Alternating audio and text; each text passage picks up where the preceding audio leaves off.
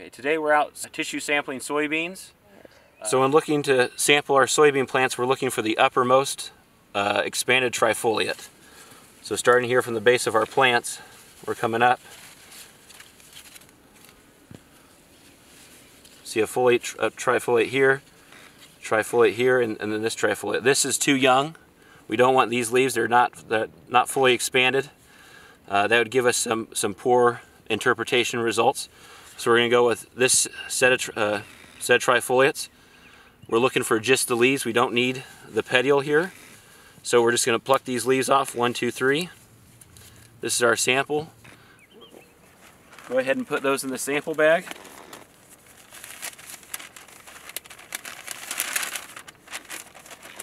For soybean tissue sampling, you know, those leaves are are big, but they're very moist. So we're, we're probably looking for uh, 30 or so sets of trifoliate. So that'd be 90 total leaves.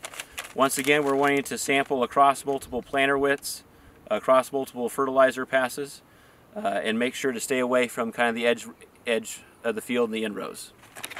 Let's go get some more samples.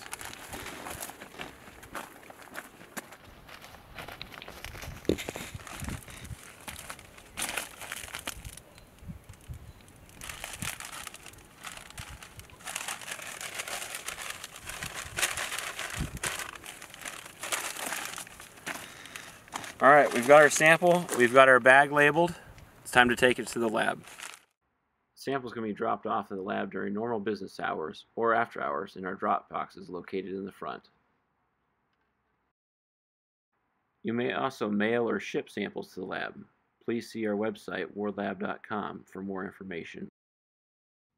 For more information about plant testing or any of the other testing items we do at the lab, please visit wardlab.com.